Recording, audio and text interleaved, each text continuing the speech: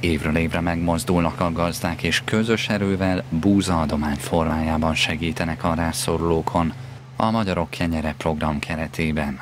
Idén eddig már 400 tonna kalászos gyűlt össze idehaza, a szervezők pedig a 600 tonnát jelentősen meghaladó adományra számítanak, amelyet aztán liszté őröltetnek. A Nemzeti Agrárkamara 2013-ban csatlakozott a Kárpát-medencei jótékonysági kezdeményezéshez.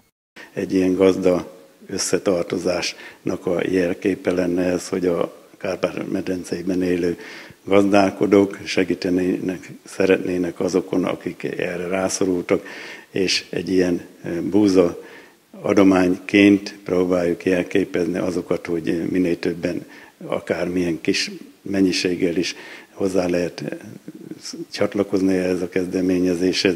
Ez a határon átnyúlóvá nőtte ki magát, sokan Kárpátaljából, Romániából is, Erdélyből is sokan csatlakoznak ehhez.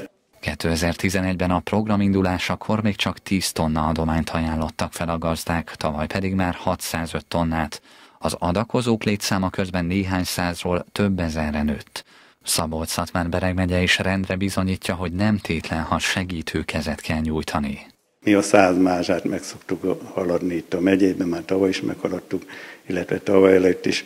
Most is úgy gondoljuk, hogy egy ilyen 120 mázsa körüli, ami lisztet majd Krámer Zoltán úrnak az üzeme malom legyárt baktorórántrázán is mindenkinek olyan kiszerelésbe juttatunk el, ahol neki egyszerű kezelni.